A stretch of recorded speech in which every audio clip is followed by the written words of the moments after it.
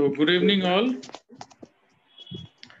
Today we are having a very important topic for discussion, interaction of ionizing radiation. And we have our speaker today, Dr. Sayan Das.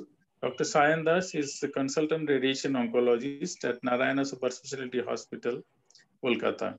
Dr. Sayan Das, I know him from the time of his residency. He did his MD from the prestigious Tata Memorial Hospital and senior residency also from Tata Memorial Hospital, Mumbai. So one more thing I want to tell today, we are very thankful to Dr. Sayan. He is currently an active corona patient. He is corona positive, tested corona positive and is having fever. In spite of his illness, he was desperate to take today's class. So thank you very much, Dr. Sayan. And uh, I think now we can start today's class, Interactions of Ionizing Radiation by Dr. Sayan Das. Uh, thank you, uh, for your kind introduction. Uh, yes, uh, I am currently suffering from uh, COVID, but uh, I am extremely sorry that because of which uh, the regular uh, schedule had to be changed, and I'm grateful to uh, the speaker of the previous session, Mr. Karthik, who chipped in, uh, who was supposed to take the class today, and I did not want uh, the remaining roster to uh, go into disarray because of my illness. So I was just uh, a bit desperate to take the class today. I will be talking on interactions of ionizing radiation. Uh, shall I just scroll or how do I change from one slide to the other? Uh, is that uh, what format is it? This is, I'm playing from my iPad. Okay, so uh, do one scroll. Yeah. But the thing is, there are few animations. And if I scroll them, the animations will not be visible. Mhm. Uh, uh, this is a in um, I mean keynote. No, no, this is not in Keynote. Uh, I am just using the uh, PowerPoint in uh, in my iPad. That's it. Okay, so um, uh, I think you have the PPT. Can you share your screen? ah, sure, no problem. Just uh, Okay, give me okay. one minute. Yeah. Okay.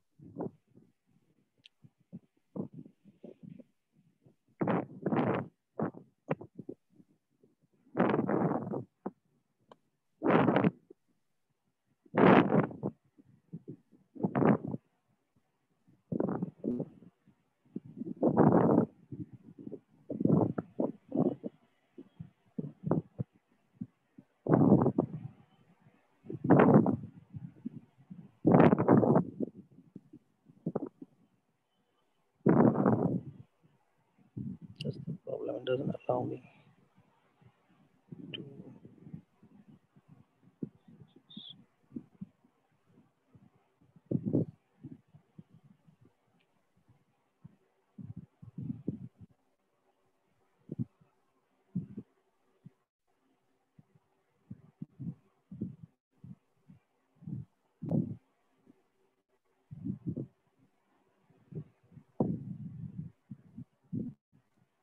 Is it visible? Uh, yes. Okay.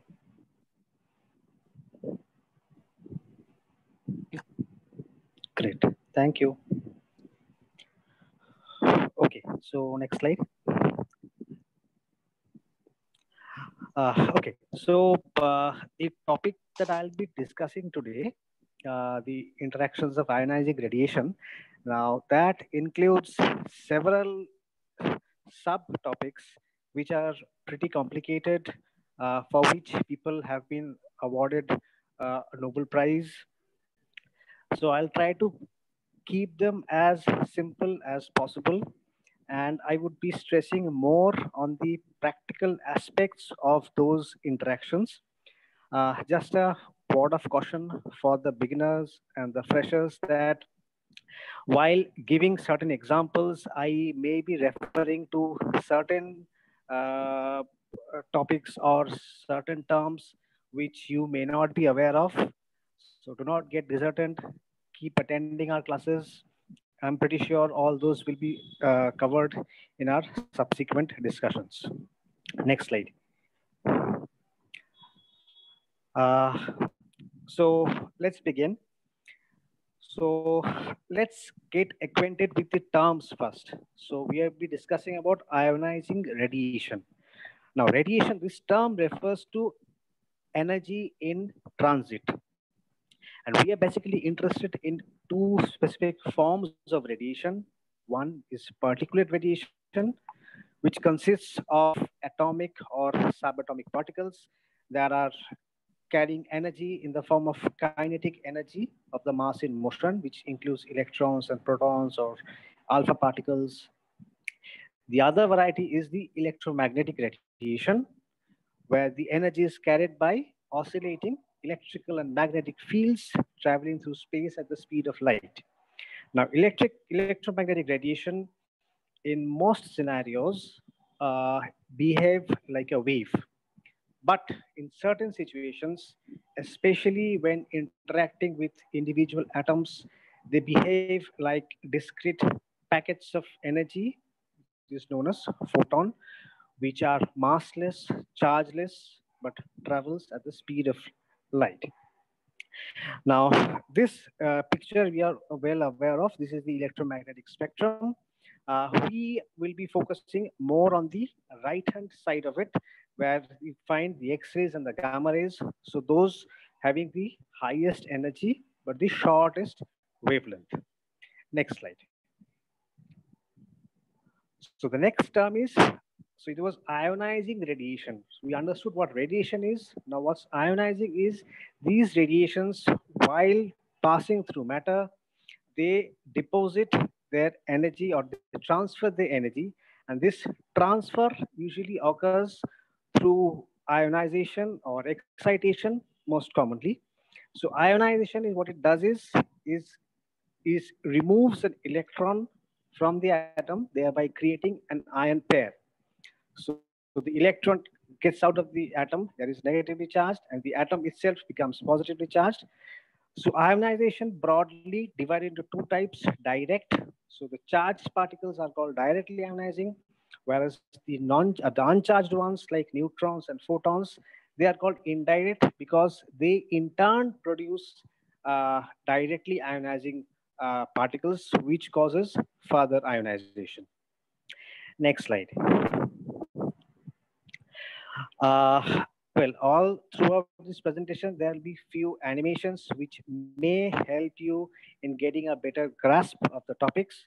Uh, this is one of them. Uh, ionization is, as I said, the electron is removed. So, uh, Jibok, can you just click it once? So there you see the, uh, uh, can you just repeat it once more, probably, yeah? So there, there is this photon interacting uh, with the electron. The electron gets ejected from the atom, thereby generating an ion. I'll come to it in details later on. Next slide is the other form where energy is transferred from the radiation to the absorbing medium is excitation, where the energy level transferred is much less than that of ionization.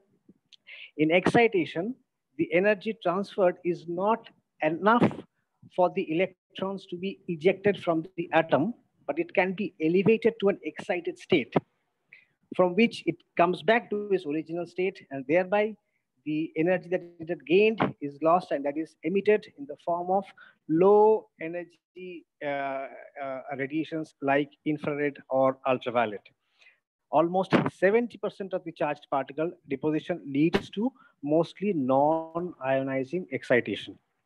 As you can see in this uh, animation once again, the electron is elevated to an excited state from where it will come back to its original state. Next slide. Uh, before we move on to the specific interactions, let's first understand what happens when a beam passes through a particular uh, medium. There are three possibilities. One, the lowermost arrow, as you can see, the beam of photons after entering the medium, the photon disappears and we say that the energy has been absorbed into the medium. The topmost one, you see that the beam has been deflected from its path, which is known as scattering. There may or may not be loss of energy. Accordingly, it is either elastic or inelastic. The third one, the middle one, is where it passes through the uh, uh, uh absorbing medium, which is called a transmitted or transmission or a transmitted beam. Now, attenuation refers to removal of radiation from the beam by the matter. Now, that can be either absorption or scattering. So, attenuation would include both absorption and scattering. Next slide, please.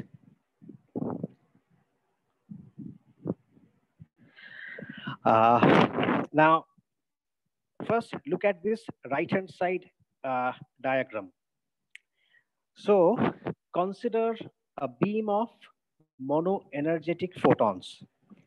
Now I place absorbing medium in the path of the photons and let us assume that it is pretty, pretty narrow, pretty thin. So the, that is called the delta X, that is the, the thickness of the absorbing material. And it has been found that the fractional reduction in the intensity of the incident beam is proportional to the thickness. Now you come back to the left hand side, look at the first line, the equation del I by I, which is the fractional reduction in the intensity. The minus sign denotes that the intensity gradually reduces as you increase the X. As you increase the thickness, the intensity gradually reduces. So as I said, this fractional reduction in intensity is proportional to the uh, thickness. And so we have this constant here, which is the mu i, which is otherwise called linear attenuation coefficient. Now this can be defined as the fractional reduction in intensity per unit length. So it is the unit is per centimeter. And it is it has been found that the linear attenuation coefficient, it increases linearly with the absorber density. So to factor out the uh, role of the density, what we do is we divide the linear attenuation coefficient with density, and that gives us the mass attenuation coefficient, which is independent of the density of the medium. Its unit is centimeter square gram. Now, mass attenuation coefficient in turn depends on two things. One, the absorber atomic number or Z. So higher the Z, there will be more atoms for interaction. So the more attenuation there will be. Similarly, if the density was not ruled out, so the more dense or the more thicker your uh, absorbing medium, there'll be more attenuation. The, on the contrary, if the photon energy is higher, it is more penetrating, so the attenuation will be less. Next slide.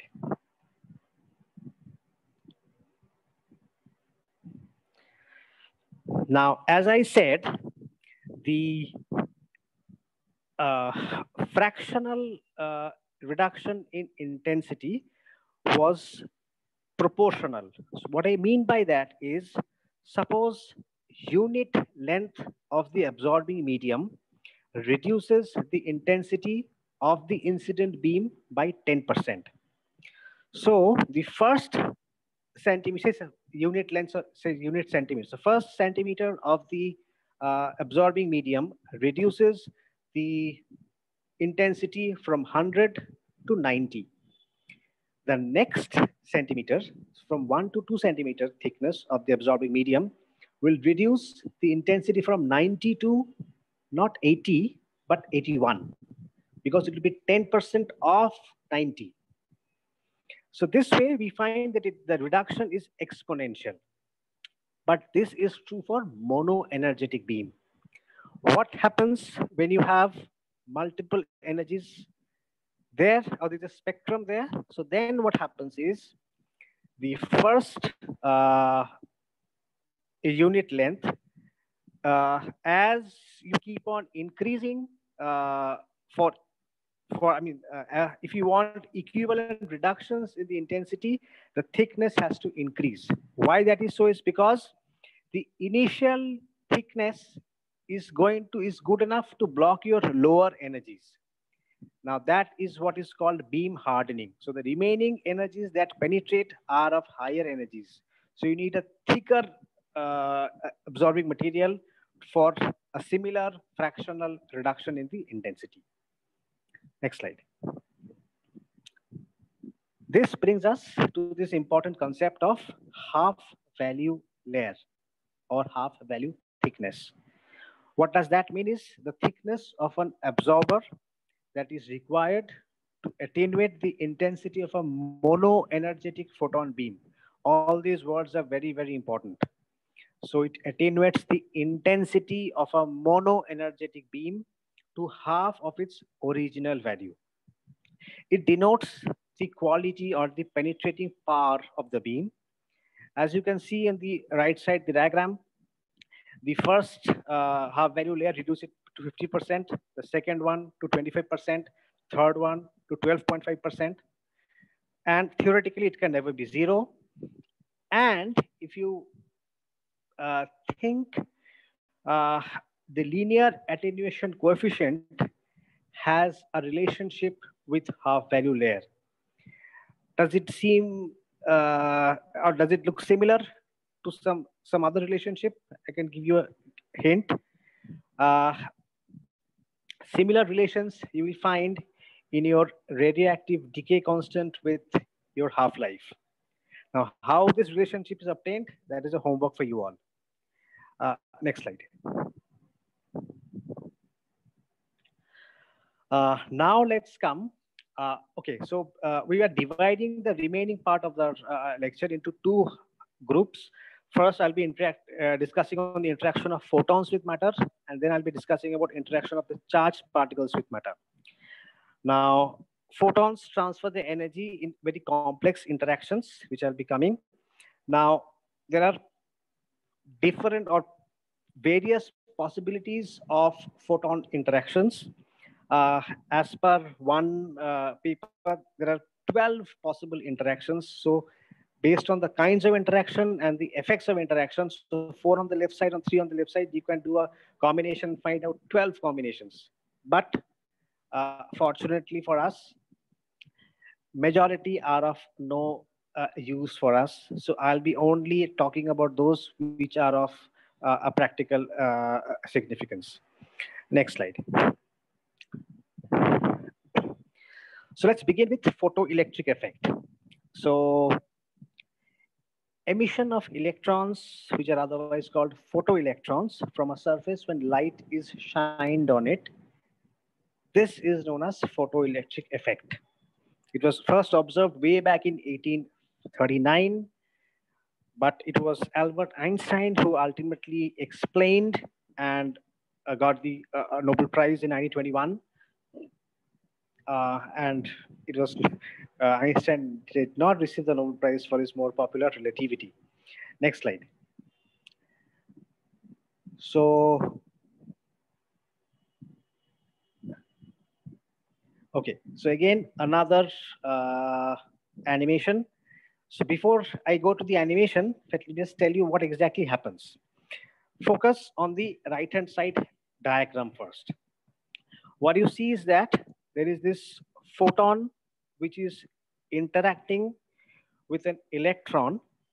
So what happens is if the incident photon interacts with an electron and the, it has sufficient energy to eject the electron out of its orbit or out of its shell. Then that ejected electron is called the photoelectron. Now, EPE, PE is the photoelectron. The energy or the kinetic energy gained by it is equal to E0, that is the incident photons energy, minus the binding energy. So if it was a K shell electron, so it has to, I mean, utilize that, the, the binding energy of that particular shell, and then the remaining energy that is left used up as its kinetic energy. Uh, the important thing is that photoelectrons are usually, or photoelectric effect usually happens with interaction between the photon and the inner shell electrons. And as you know, if the electron is removed from an inner shell, that vacancy will be filled up by an electron from another shell lying uh, above it. And then that electron fills up and that electron will lose energy in the form of characteristic X-rays, or it can even generate Auger electrons. Now that these has been discussed previously, so I'll not go into them. Now let's play the animation.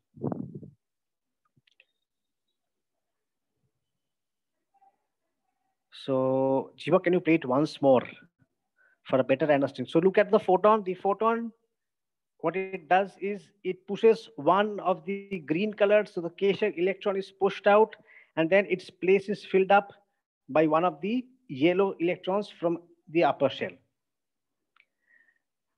Next slide, please.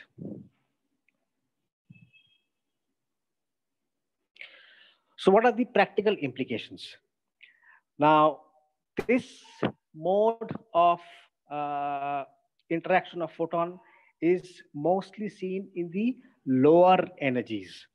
It is the primary mode of interaction in diagnostic radiology.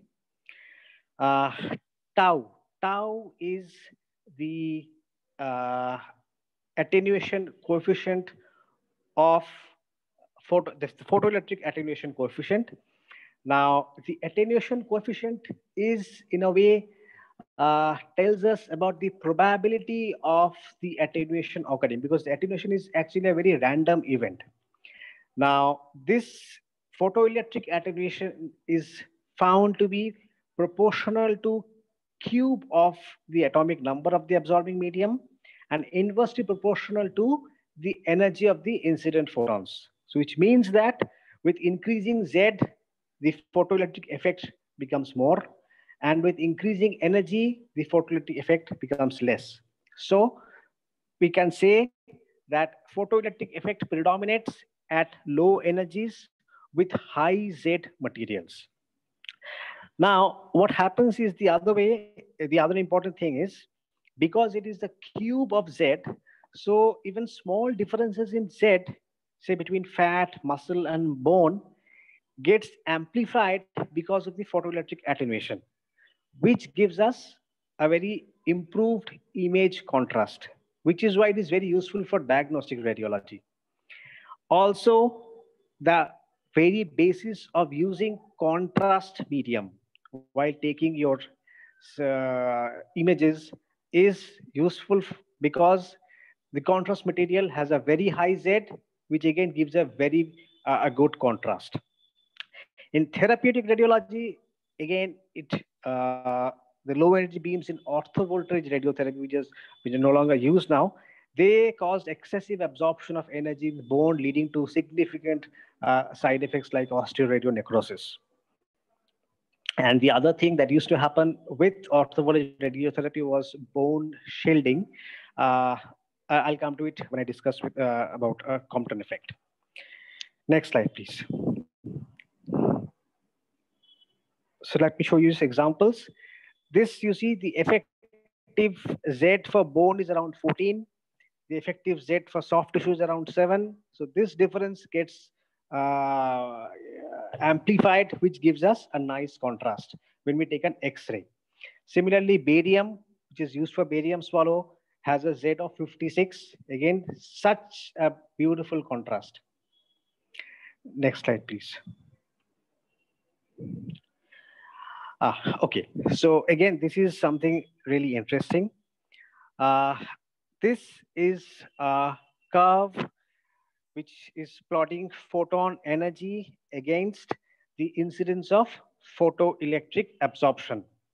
Now, what you find is, or what we have already mentioned is that with increase in photon energy, the attenuation or the photoelectric attenuation gradually decreases. Now that is seen from this curve.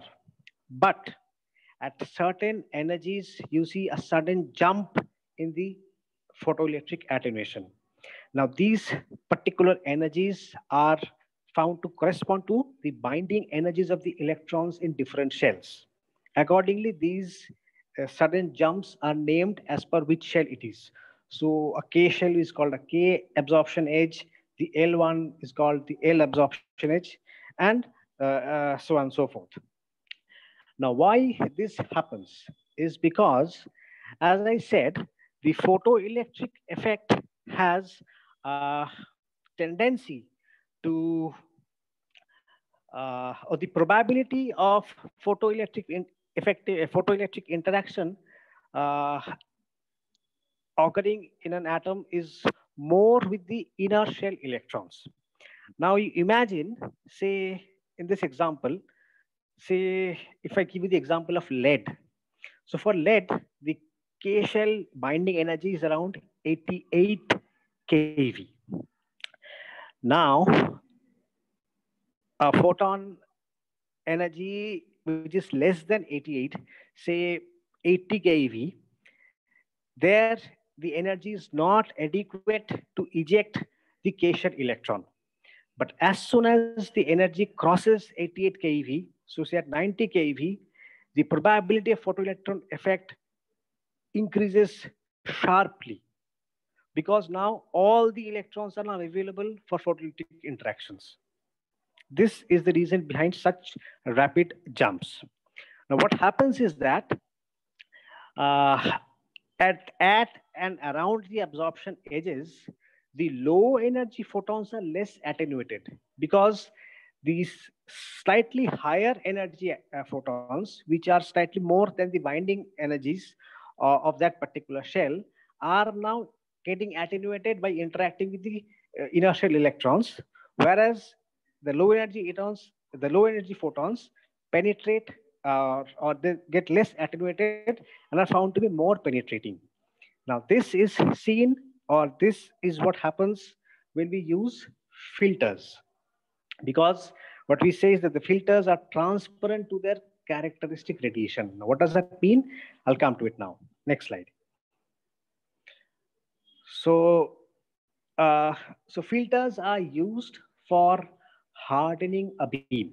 So what I mean, what do I mean by hardening a beam is I want to remove, so when there is, uh, the, so when X-rays are produced, we all know that there is this spectrum, but the lower energies are of no use to us. They only increase the surface dose. So I want to remove the lower energy photons and make use of the higher energy ones only. So for that, I place a filter in the path of the beam, which will block the lower energy ones. So in the orthovoltage range, we typically use the Thoraeus filters, which is a three-layered filter composed of tin, copper, and aluminium. Now, the characteristic radiation of tungsten, that is the source. Uh, the characteristic radiation of tungsten is in the range of say 58 to 69 keV.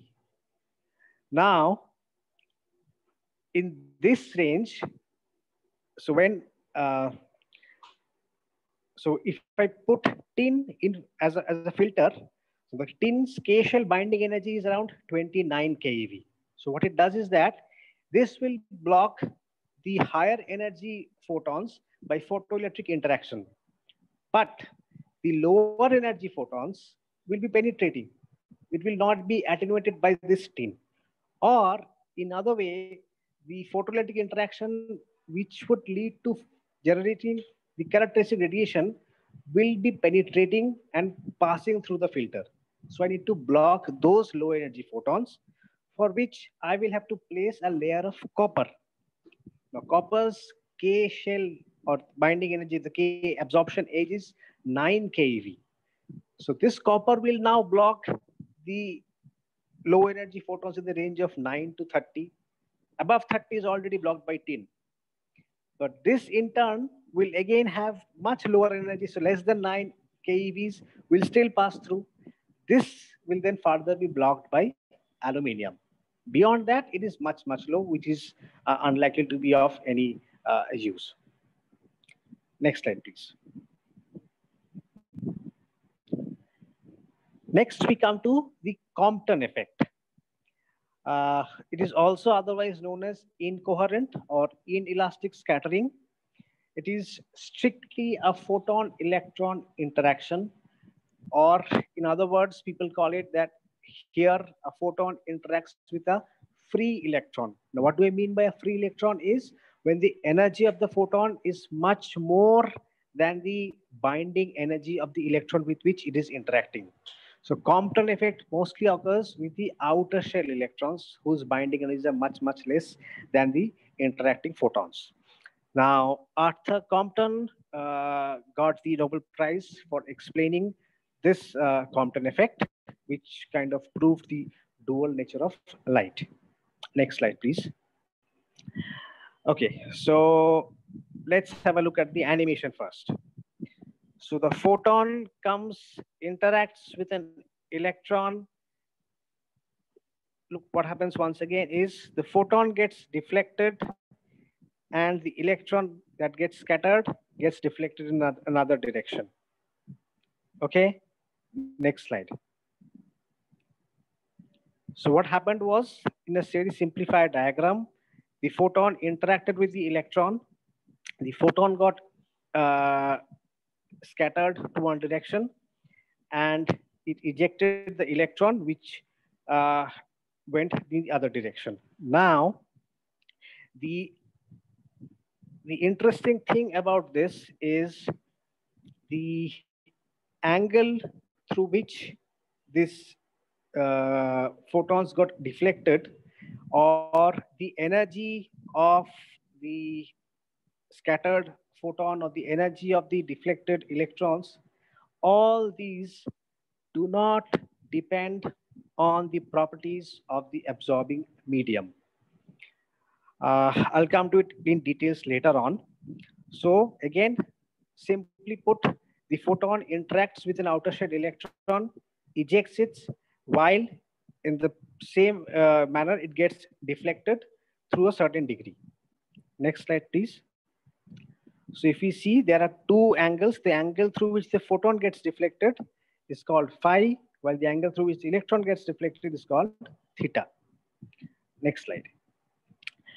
Now, the photon that gets deflected or the scattered undergoes a change in its wavelength. So that change, the delta lambda, that change in wavelength, if you see this formula, depends on phi. That is the angle through which the photon got deflected. And it does not depend on the density or the atomic number or any other property of the absorbing material. However, the angular distribution of the photon.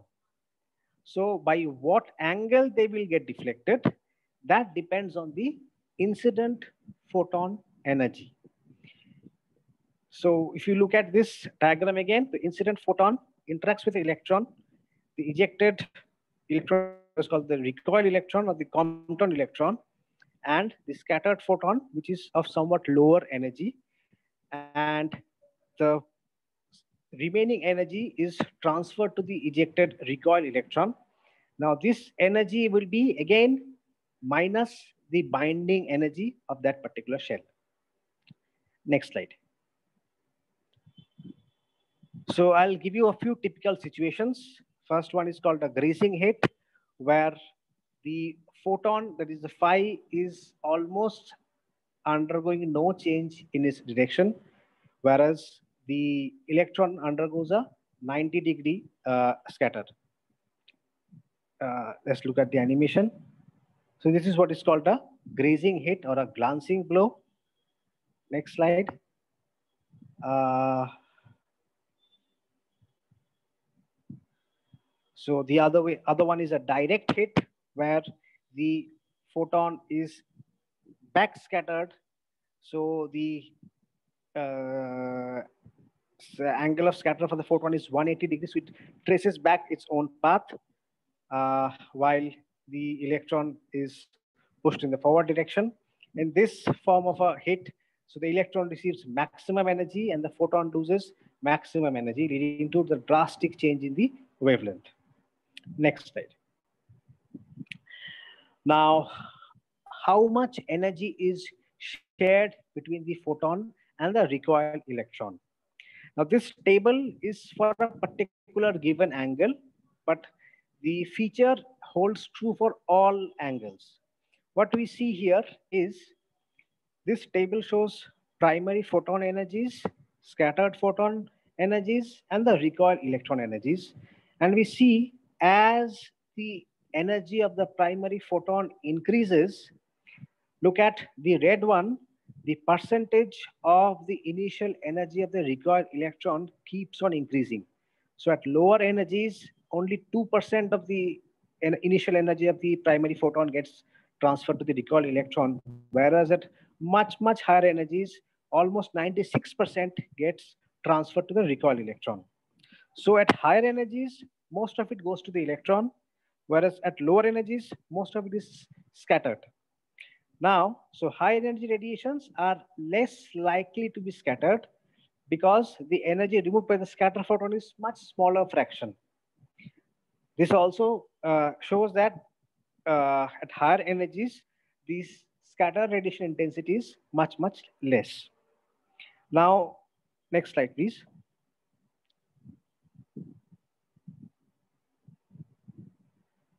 Okay, so look at this thing. This is again very interesting.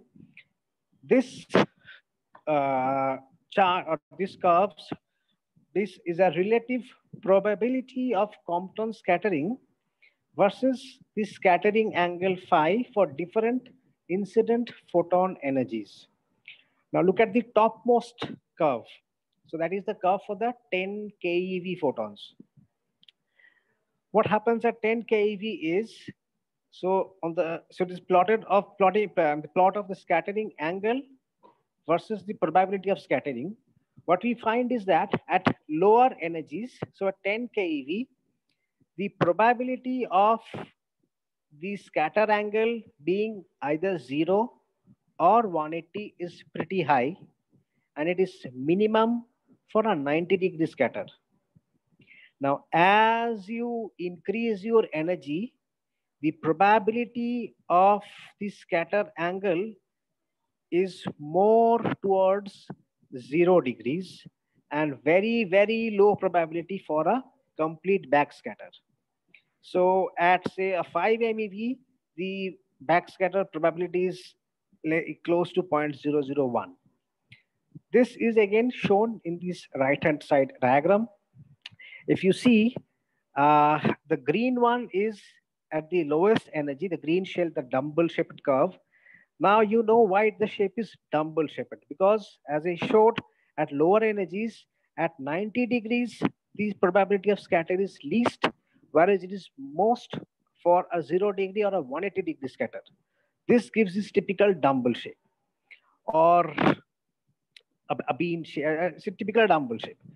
Now, as you increase your energies, so it is the chance of the probability of forward scatter gradually increases.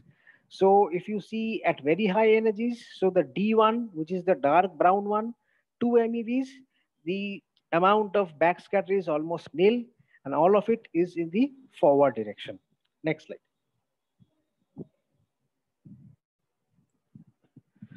Now, just like photoelectric attenuation coefficient, there is a scattering uh, attenuation coefficient, which is uh, symbolized with sigma.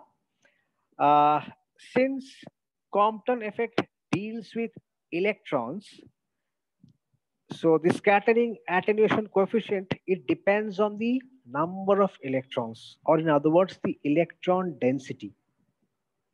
It does not depend on the atomic number or the uh, density or the energy. It depends on the electron density or how many free electrons are available for interaction. Now, practically, the electron density is same for all substances except hydrogenous materials uh, like water and soft tissues. Uh, because in hydrogenous materials, electron density, if you can see in the lower two values, is it is almost double than that of the other substances. So the others in the range of two to three, whereas for hydrogen is close to six. So in hydrogenous material, the Compton effect is much more pronounced because of greater electron density, whereas in the others, it's almost the same irrespective of the material. Next slide.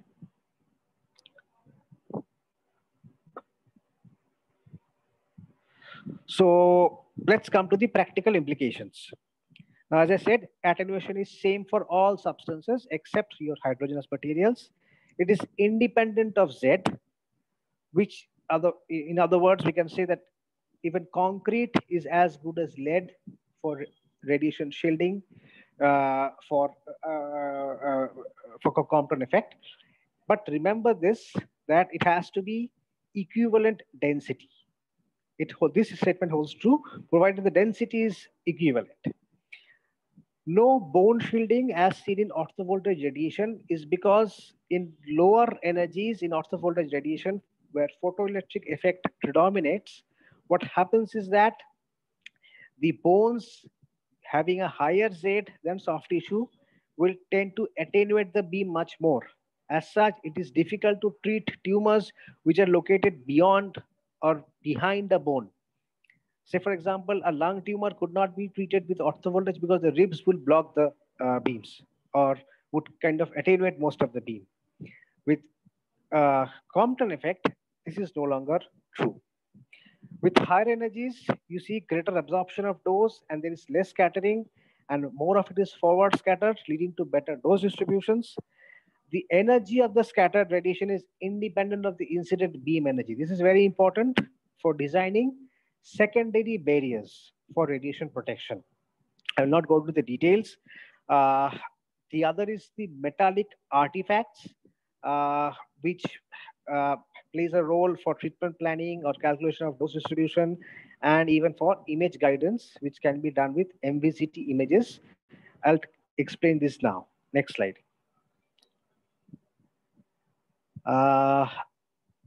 I don't know how many, uh, the beginners may not be aware of this, uh, but electronic portal imaging, uh, many of you must have come across this. So these are tools for your uh, onboard imaging for your image guidance. So these are uh, images using megavoltage beams. So their Compton effect plays a role as it is independent of Z.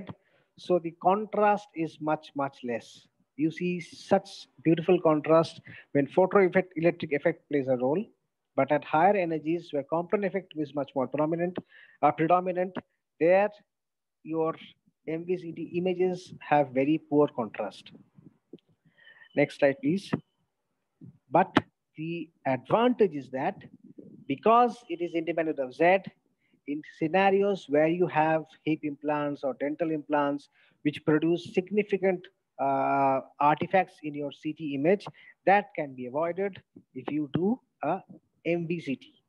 So the metallic objects produce artifacts which can impair your image fusion or your target delineation. Uh, also, it limits your electron density correction because the treatment planning system that we use, what they do is they convert the Hounsfield units into electron densities. But these kind of artifacts can lead to errors in this electron density correction and in those calculations. These can be minimized using an MVCT. Next slide. I think a better example is there in the next image. So as you can see, this is this hip implant. So there's significant artifact which can be uh, minimized with an MVCT. Next slide. So the third uh, important uh, interaction that I must talk about is pair production. Uh, this was explained by Carl Anderson, who received the Nobel Prize for the same in 1936.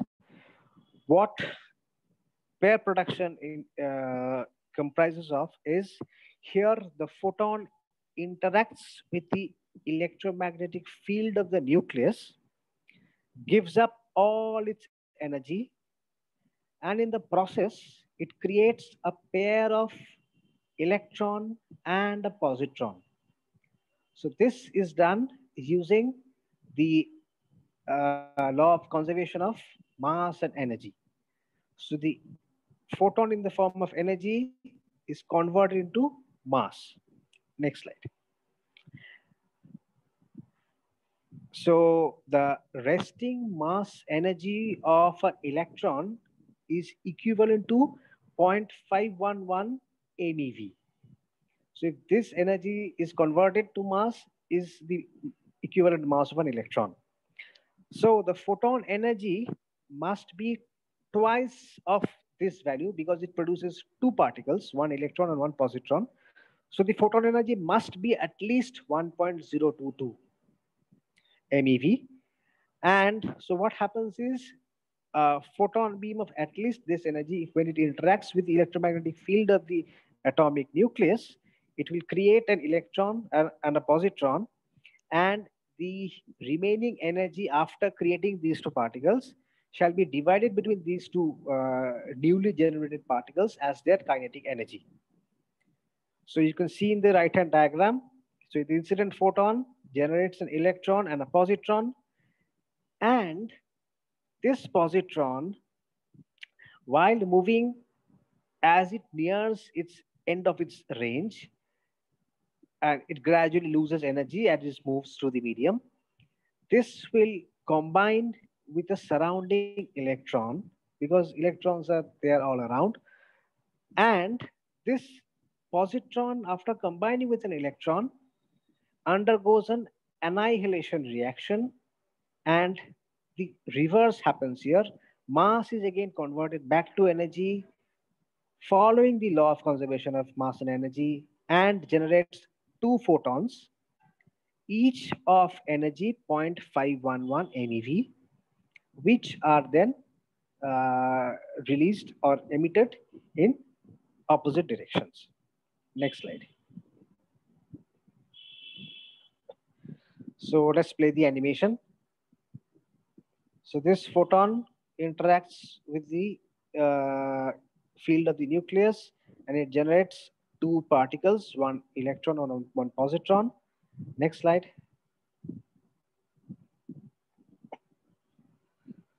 So, so these two, one is a positron, one combines with an electron and it generates two photons which move in the opposite directions. Next slide. So what are the implications? Now, as we said in photoelectric effect, that attenuation reduces with increasing energy. Compton effect was independent of the energy but pair production increases with energy. And uh, as it is mainly due to interaction of the photon with the magnetic field of the nucleus, so the likelihood increases with the nuclear charge, or in other words, with Z. So pi, which is the pair production attenuation coefficient, is proportional to Z and proportional to log of the energy of the incident photon. Now, as it depends on Z, again, just like uh, your photoelectric effect, there is more dose to the bones or uh, structures. Those have higher Z will have or will cause more attenuation. Next slide. Uh, the usefulness of the utility of the annihilation reaction, I'll just explain in this single slide, is if you have heard of functional imaging or the PET scan, the positron emission tomography. So what it does is uh, the one who is undergoing the scan gets injected with a radio pharmaceutical, which uh, contains an isotope that emits positron. Now that positron will combine with an electron undergo an annihilation reaction and will generate two photons that are emitted in bang opposite directions. Now, as you can see in this diagram, the patient's body is surrounded with multiple CT detectors, uh, or multiple detectors. So what these detectors do is that any emitted photon in bang opposite directions at the same instant will be considered to be produced from the same annihilation reaction, which must have happened along the line joining those two photons. Now, this fundamental principle is then used by creating a back projection algorithm to generate an image. Next slide. Okay, so just few words about a uh, few more interactions. I think two more. One is the photonuclear reaction uh, for James Chadwick, who discovered neutron by bombarding beryllium with alpha particles, and he won the Nobel Prize for the same. So here, much higher energy photons. So the threshold energy for pair production was 1.022 MeV. For photo disintegration or photonuclear reaction, the threshold is 10 MeV, and the maximum is around in the range of 15 MeV. So what it does is, uh, at such higher energies, it is able to pierce or go beyond the binding energy that holds the nucleons together and ejects a particle from the nucleus itself. It can be a proton or a neutron. More commonly, a neutron gets ejected. Uh, this again increases with Z because the more uh, number of nucleuses are there, the more likelihood of this kind of interaction. Next slide. Uh, the again just a few words about the practical implications is the neutron quantum. So when you use such high energy photons, uh, you tend to produce such neutrons which have a relatively high relative biological effectiveness, which is almost 10 times more effective at causing biological damage compared to your uh, gamma radiation. Uh, and unwanted neutron exposure can be a contributory factor for second malignancies. Uh, the other important uh, implication is, again, with regards to radiation shielding for fast neutrons, you need to have hydrogen-rich material because it undergoes elastic scattering or elastic interactions with hydrogen, thereby losing its energy because uh, the size of a neutron and size of a hydrogen nucleus is almost the same. So thereby a fast neutron gets converted into a slow neutron, which can then be uh, captured. Next slide. Uh, just a question that why don't we use higher energy beams more than say 15 or 18 MV is firstly, you have a high exit dose. You tend to have more pair productions and I said as there's more pair production, there will be uh, more dose to your bones. And you tend to have more neutron contaminations because of increased proportion of photo disintegration.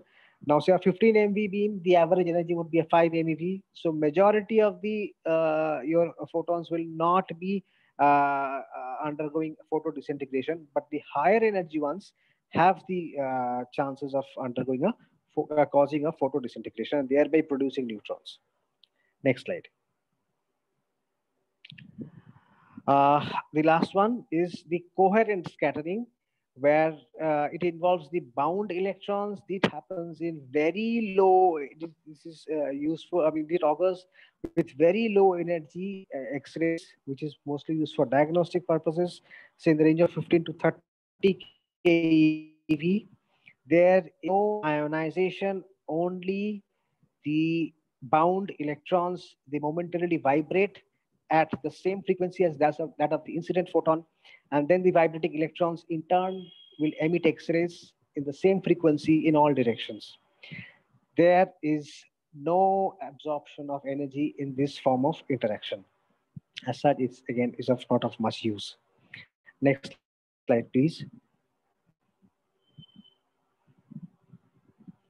Uh, it's of nuisance value for radiology and radiotherapy, but of is of use for X-ray crystallography. The scatter probability is again proportional to Z square, but inversely proportional to the energy. It occurs more in higher atomic number materials because there are more bound electrons, and it occurs more with low energy radiations. Next slide. Just one example that I want to talk about is mammography. So in mammography, 95% is the photoelectric effect. However, there's 5% scattering. Some of it is Compton, some of it is elastic scattering, which distorts the image. And there are ways to reduce this kind of distortion is we usually ask the breast to be compressed so that less tissue has to be traversed through, thereby having less scatter. And we use grid, usually made of lead, which kind of uh, absorbs most of the scatter photons. Next slide. So uh, if we focus on the three most important interactions, which are photoelectric effect, Compton effect, and pair production, what we find is that all of them produce either a high energy secondary electrons or secondary photons. So for photoelectric effect, it would be characteristic X-rays or your photoelectrons or Auger electrons. For Compton effect, it's a scattered photon and a recoil electron. For pair production, it's an annihilation photon and a positron electron pair. Now, these high energy electrons are the ones which are responsible for the deposition of energy in matter while uh, the radiation uh, gets passes through the uh, uh absorbing medium. Next slide.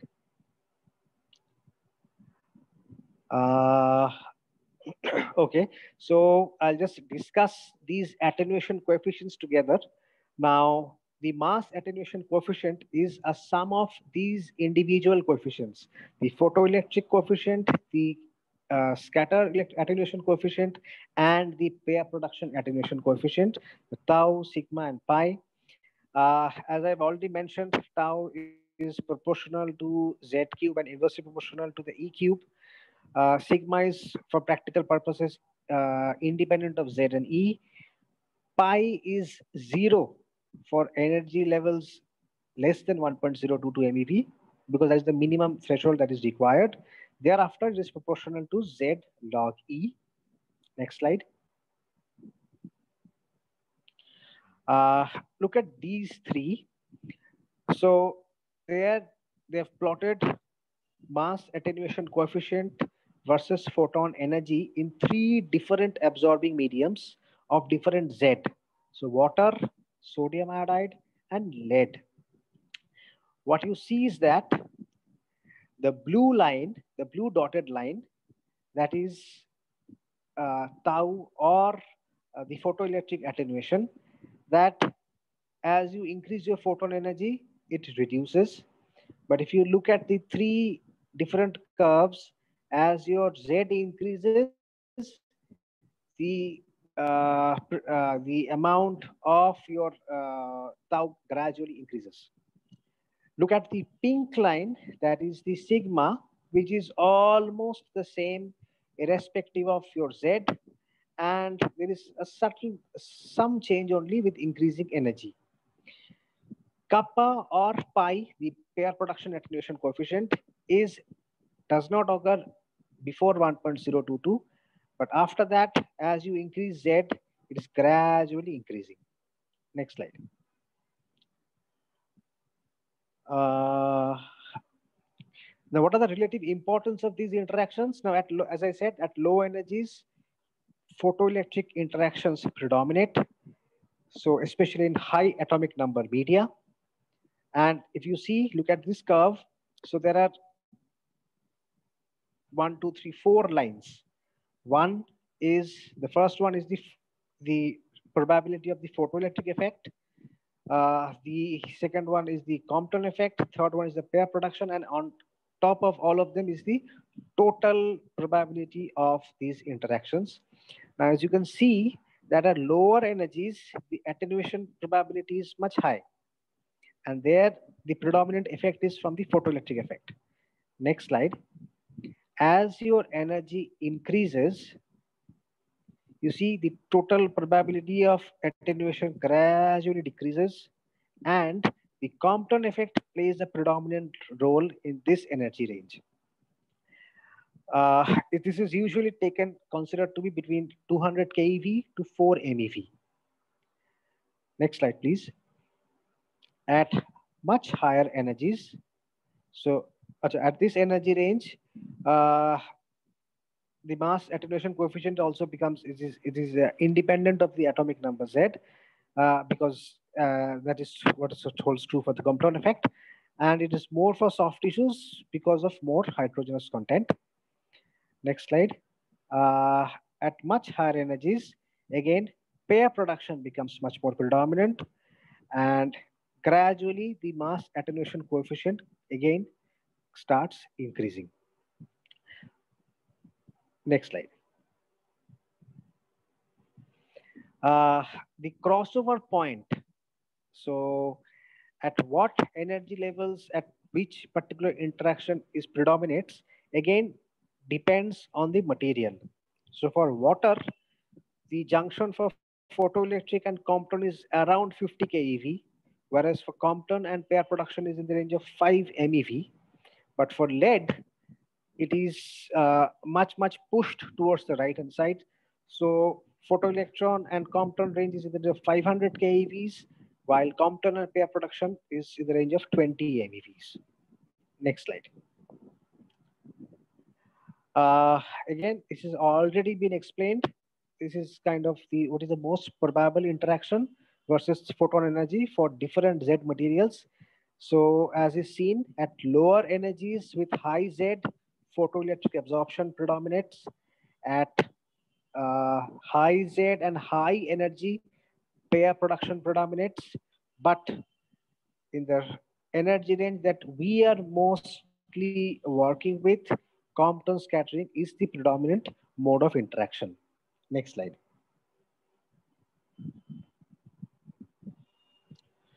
Uh, just I'll try to be as brief as possible now. The interactions of charged particles with matter. Uh, so here, the incident particles, unlike the way it happens with photons, for charged particles, when they interact with uh, matter, it is mostly through the Coulombic forces of attraction or repulsion rather than a direct mechanical hit. So when the incident charged particle passes very close to an orbital electron, uh, it can cause, uh, by a force of uh, uh attraction or repulsion, it can cause ejection of the ele electron from this atom, thereby causing ionization. For a less distant uh, interaction, it can cause excitation. And when it interacts with the nucleus, it can cause Bremsstrahlung production. Next slide. Uh, okay, so this curve is plotting electron energy versus the rate of loss of energy. Now, when charged particle interacts with matter, there are two kinds of loss of energy. One is collisional and one is radiation loss. Collisional loss occurs through ionization or excitation. Radiative loss occurs through Bremsstrahlung. Now, if you look at these curves, there are four curves. Two are for collisional with water and lead, that is two different Z, and two are for radiative losses. Now, if you see with the energy range that we are uh, concerned about, collisional losses are the predominant mode of loss of energy. However, as your energy increases, your radiative loss gradually increases. In fact, it increases in a very sharp rate. However, with higher Z, the uh, collisional loss is much more for lower Z materials. I mean, the uh, collisional loss is much more for higher Z materials than for lower Z materials. Now, why is that so? So at higher energies, the collisional loss tends to be less because of the velocity effect. So at higher energy, the electrons which are traveling at a very fast rate have less time to interact with the other uh, subatomic particles, thereby being less densely ionizing. So they travel a longer distance before they undergo uh, a, a, a, reduction or the loss in energy. Uh, what happens with higher Z materials is that with higher Z materials, the electrons, so the inner shell electrons are kind of screened by the outer shell electrons. So there are less uh, electrons available for interaction. So that's why the loss is much more for lower Z than for higher Z. Next slide.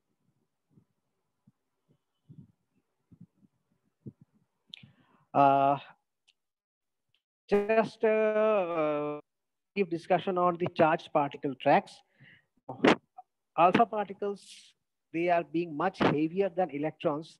They are really deflected after getting interaction or interacting with an electron. So they are, so the track is mostly a straight one and they keep on losing energies with uh, multiple interactions with uh, different electrons ultimately uh, losing their internal energy at the end of their track.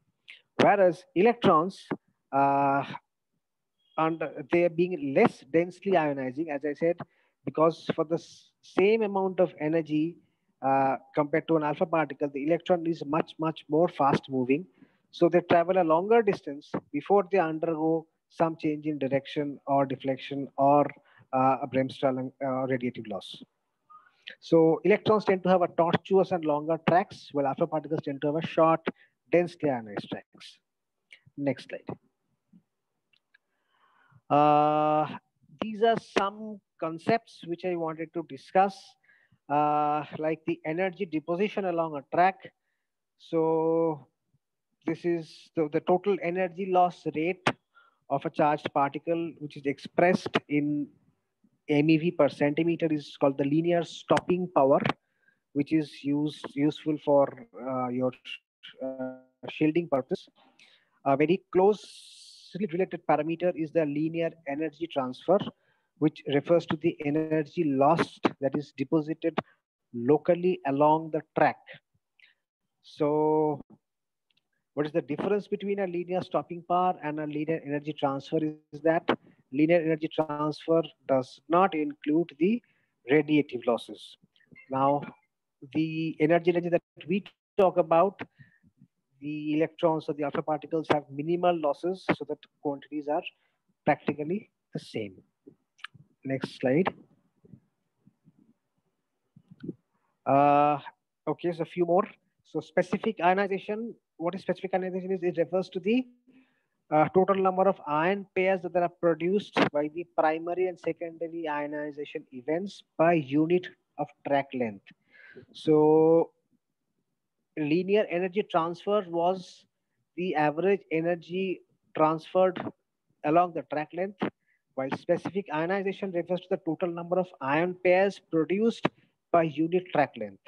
So if I take a ratio of them, what I get is the average energy spent or expended per ionization event, which is called W. W is usually found to be same for uh, different particles with different energies, which means that LET is kind of proportional to the specific ionization. Uh, the other concept is that of ionization potential, which speaks about the average energy required to cause an ionization in a material. The difference between W and I is that W includes both ionization as well as excitation, while I includes only ionization. Next slide. Uh, okay, so I think there are only two curves remaining. This is the specific ionization for electrons versus energy in air. So this is a plot of energy versus ion pairs per millimeter of track length. What it shows is that as your energy reduces, your specific ionization keeps on increasing. Why is that so? Has already been explained by the velocity effect. So as your energy reduces, your velocity is less, so you have more chance of producing ions. So that's why the ionization keeps on increasing. At about say 100 electron volt, it sharply reduces because your energy is now much less to effectively cause ionization. Next slide. The next one is that of alpha particles. Uh, this is uh, the same curve, but uh, represented in a different way is this time uh, they have kept the x-axis as the distance from the end of the range. So again, what this shows is as this, the alpha particles nears the end of their range, the ionization density gradually increases and then it reaches its peak just before it loses all its energy and comes back to zero. This sharp peak is known as the Bragg ionization peak. Next slide. Uh, I think this is the last one that I just wanted to mention is the Cherenkov effect. So this occurs when a charged particle travels in a medium at a speed greater than the speed of light in that medium. Now, this may seem a bit paradoxical because we know that it is difficult to cross the speed of light. But remember, that is speed of light in vacuum. What I've mentioned is the speed of light in a particular medium. So that is possible. And that is what is commonly seen around a nuclear reactor where we find this kind of a bluish uh, emission of light. So next slide. I'll not, it's already quite late. So to summarize, so charged particles are either directly uh, charged with directly ionizing, while the uncharged particles are indirectly ionizing. Photon beams interact with matter through five major processes. Uh, tau is proportional to z cube and inversely proportional to e cube. Sigma is independent of z and e, while pi is proportional to z and log of e. And charged particles interact primarily by ionization, excitation, or bremsstrahlung. Uh, next slide, please. So thank you for your patient hearing. Uh, I would like to thank the core team of the Young Radiation Oncologist Club, especially Dr. Sayan who has been uh, tremendous help because he kept on kind of encouraging me all through my sickness. Uh, thanks to Dr. Rima Pathak, my uh, very good senior and a very good friend of mine, because all these animations I got from, I mean, I, I, I took her slides. Uh, Ajay is another of my junior. I took some of his slides as well. And, um, uh, and, I, I, I did uh, receive help from Dr. Manu Matthew with the study materials. So now I think it's time for questions. Thank you, Dr. Sayan. It was a, a, wonderful class, I must say. With all your illness, uh, fever and everything, the amount of effort that you have given is really commendable. Uh, we can take the question answers now. Mm, questions now, uh, Dr. Jivak. Yeah, just a minute. Uh, give yeah. me one minute just. Sure. Okay, so we will start with uh, the first question. Uh, he, uh, Dr. Shraddha, he's asking why innermost orbit electrons are ejected in low energy uh, range. That means the photoelectric effect. Okay, so again, this uh, there is a very complicated formula which kind of shows uh, that the probability is much more. It is not true that it will only happen with the inner uh, shell electrons, but the likelihood is much more. Uh, but again, the explanation is beyond the scope. It is very, very complicated. I mean, very if you're really interested, you can. So, if you're really interested, you can uh, sit down with a medical physicist because I asked my own physicists and they kind of showed me a formula which was, I mean, way above my understanding. Yeah, the same thing was asked in uh, mm, uh, YouTube also. He's saying binding energy of electron in K shell is greater than higher shells. Why is photoelectric effect more prominent at lower photon beam energies as compared to Compton effect? The same question is basically. Uh, yes, but again, so if people are really interested, okay, then I can add some additional material and then, but it, it is pretty complicated. I don't know, any other panelists would like to add something because I did sit down with our physicists and then it was, it was uh, the explanation that they put forward was pretty difficult to grasp. So let's go to the next question. Uh, so uh, Dr. Bashundara is uh, asking for repetition of the absorption edges. Okay. So I think we have so, to go back to filter. Yes, yes, yes. So yeah. what happens is that, as I said, so if you plot the photoelectric attenuation with increasing energy, uh, as I said, photoelectric attenuation is inversely proportional to uh, the cube of the energies. So I think the previous slide.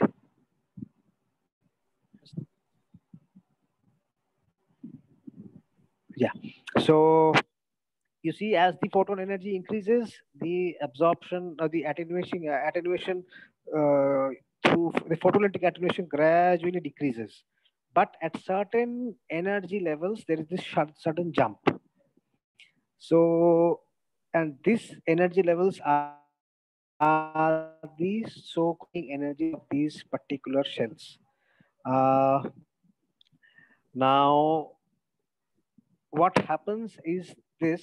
So the, the explanation that I was telling is at these, so for the K edge, at that particular energy level, uh, the, of the, the incident photon having that particular energy can now eject all electrons in that particular atom. So say for lead, it is 88 keV. So a 88 keV photon or 89 keV photon can now eject any electron, but an 87 keV can eject the remaining 80 electrons, but not the two K shell electrons. Now, this may seem that, okay, so what's the big deal? So 87 to 89, so 2 keV increase in energy of the photon. So the, uh, uh, the increase in the attenuation should be so from 80 electrons to 82 electrons. So hardly say 1.5 to 2% jump. But what you actually see is almost a seven times jump in the attenuation. Now, the very reason I said the explanation is beyond the scope of this discussion as of now. If you're really interested, I'll try to send you some material.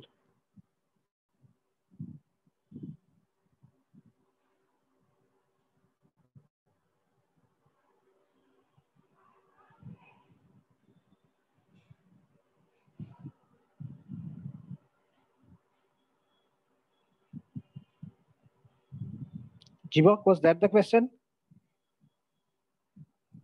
Hello, uh, can you hear me? Yes, yes.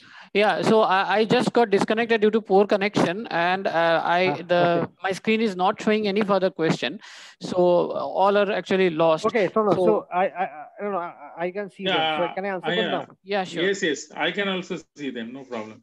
So okay. another one so is uh, why metallic implant don't cause any uh, artifacts with uh, MV CBCT image that uh, I think you have explained already. Yeah, because it is independent of the Z, Z, independent of the atomic number. So whether it is independent of what material is there. So that's yes. why uh, there won't be any uh, uh, artifacts because of the metallic implants. So why are hydrogenous compounds of boron used for neutron protection? Yeah, that's what I said. So uh, when you are say shielding from uh, a fast neutron, say for example, if you want to shield from X-rays, lead is a very good uh, useful shielding block. But lead is not at all useful for shielding neutrons because neutrons or say a fast moving neutron interacts well only with particles which have the size same as that of a fast moving neutron which I said is true in case of a hydrogen nucleus. A hydrogen nucleus includes a proton. So the size of a proton and a neutron is almost the same. So there, the exchange of the transfer of energy is, so if you see the neutrons interaction, it's just like a, a, a billiard game. So it's mostly uh, an elastic scattering, thereby there'll be transfer of energy from the neutron to the proton or the hydrogen nucleus. So that's why hydrogens or hydrogenous material like a polyethylene are really useful for stopping fast moving neutrons or converting fast moving neutrons into slow moving neutrons, which can thereby be uh, absorbed by other materials like concrete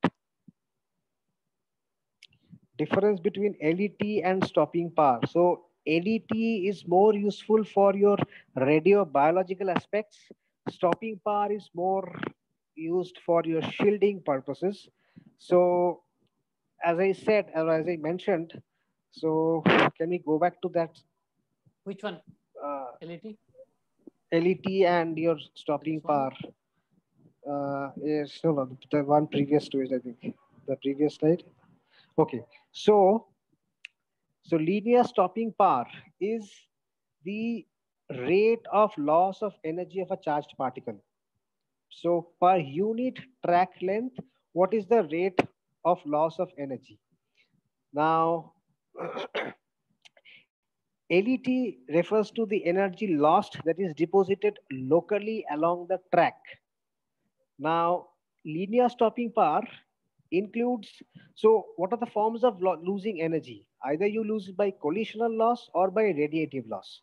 Now, linear stopping power includes all sorts of loss, while LET measures only the energy that is lost along the track, while radiative loss occurs at a some distance away from the track. So LET disregards radiative loss, but stopping power includes everything. So that's why, I mean, that is the basic difference between stopping power and LET. But again, as I mentioned, for practical purposes, the uh, in this energy range where we work, the radiation loss is minimal for charged particles like electrons and alpha particles. So there the two quantities are almost the same. Uh, so this uh, section, I think, more? all the questions. One or two. How safe? One new question 15 been treating patients. How, how safe, how is, safe is it to use 15, 15 MV? Yeah, till 15 MV is okay. I mean, as I said, so the I mean, we do not use more than 15 because with more higher energies, you tend to have more pair production. And with or I mean, further energies or far much higher energies, you tend to have much more of your uh, photo disintegration. So there you'll have more neutron contamination. There'll be more exit dose. The most common problem would be more exit dose. So I think no one wants that. So how safe is it to use 15 MV? Yes. See, what I felt, I can give you a, a bit of philosophical answer is if you look at it, I think it's a nature's gift of uh, treating cancers, using radiotherapy with these sort of energies, with the sort of doses distribution and the sort of separation that we human beings have, it is typical of in this range of say 4 to uh, 15 or say, uh, say 4 to 15 or 4 to really 18 uh, MV. This range is suitable for treating cancer patients with the sort of separation that we have. Anything less than that is not suitable Anything more than that will tend to cause much more problems. But again, it's a kind of a philosophical answer, may not uh, be palatable for you. So from YouTube, we have one question, I think, which is relevant. Others you have already answered, and we are not going to repeat any part because we are already late. That is why Compton effect is higher in case of heterogeneous material. I think that is important for the student. Yeah. So as I already mentioned, so Compton effect is dictated by electron density because Compton effect that the photons are interacting with, as I mentioned in the uh, very beginning, the so-called free electrons. So the loosely bound electrons in the outer shell. So the more such loosely bound electrons will be there, the Compton effect will be much more. Now, the electron density for all practical purposes in all materials is almost the same. There are lists available in most of the textbooks. You see uh, all of them in the range of so two to three uh, of a particular given unit. While for hydrogen and for hydrogenous materials, like water or, or even soft tissues, it is almost the double. So double means there is more electrons. The electron density is more. So the Compton effect will be more. I yes, hope exactly. that answers your question. Yeah, yes, exactly. Hydrogen is actually one proton and one electron. Yes. So I think we have covered all the questions and uh, thank you, Dr. Sayan. Once again, you must take a rest now. We were continuously teaching for one and a half hour. So uh, it was really, really wonderful talk. Thank you very much. And thank you everyone for thank participating. You, thank you, thank you, thank you, thank you.